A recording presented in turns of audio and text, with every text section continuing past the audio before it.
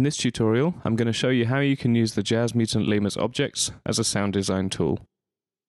First I connect to the lemur.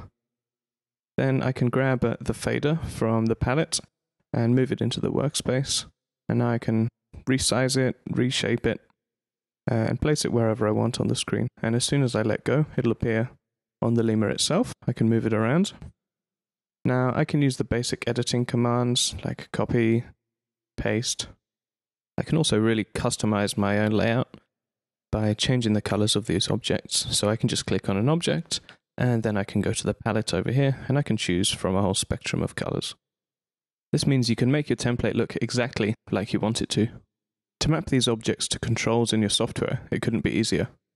Live's master fader could be controlled by a Lemur fader. Select the MIDI output, then a MIDI message. We usually use control change messages.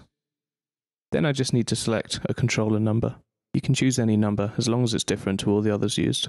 Now go into Live, click on the MIDI map button. There's a similar feature in most other apps too. Click on the master fader, and then just move the fader on the Lemur. Now it's mapped. Now the virtual fader on the Lemur controls the master in our software. It's dead easy. Now we can map stuff.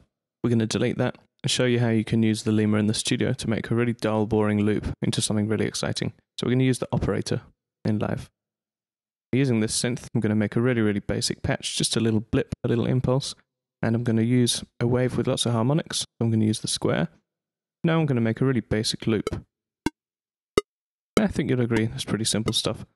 So now I'm going to add an effect on that, just uh, a filter delay. So the filter delay from live is basically just uh, three delay lines, each with a different filter on.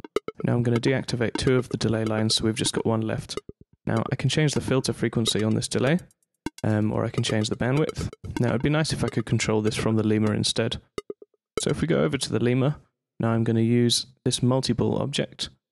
And it's most basic, this is an XY controller. So if I move this ball along the X, we can send out one parameter, the Y, we can send out another. So now I need to map this.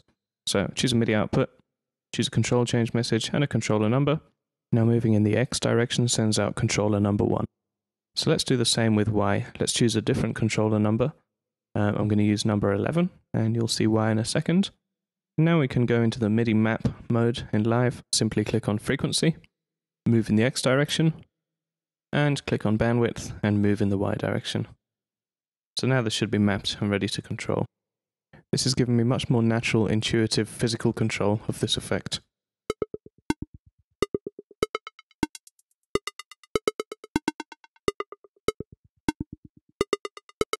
One of the exciting things about the lemur's objects is that most of them have this special physics mass spring mode.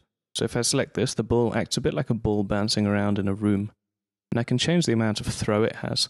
So if I go to the uh, friction parameter, I can change this to zero, and it'll keep on bouncing indefinitely. You can use this like an LFO to control your sound parameters. If I want to see this on the Jazz Editor interface as well, I just need to click on Sync here.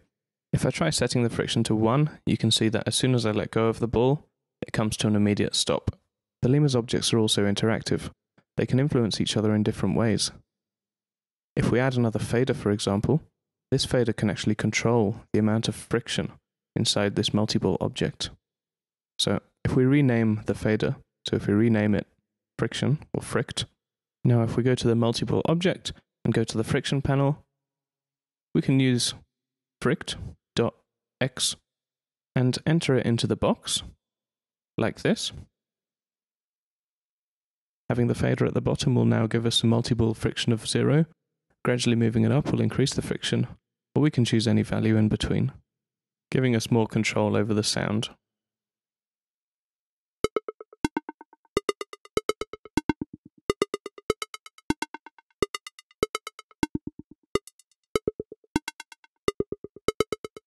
Now with this effect we have three delay lines, so if we activate the other two, and get control for these from the lemur by going to the properties tab and typing in three balls. Now we have three balls to play with. So we need to make sure that each one sends out a different pair of controller numbers. If you remember X was sending out controller number 1 before, now if I type in 1, it'll autofill from 1 to 3, so in the X direction there's 1 for each ball. Similarly for Y, it fills from 11 to 13. So now we need to map each of the new balls. So we've already mapped the purple one. So first the yellow, X is frequency, Y is bandwidth, and for the green, the same.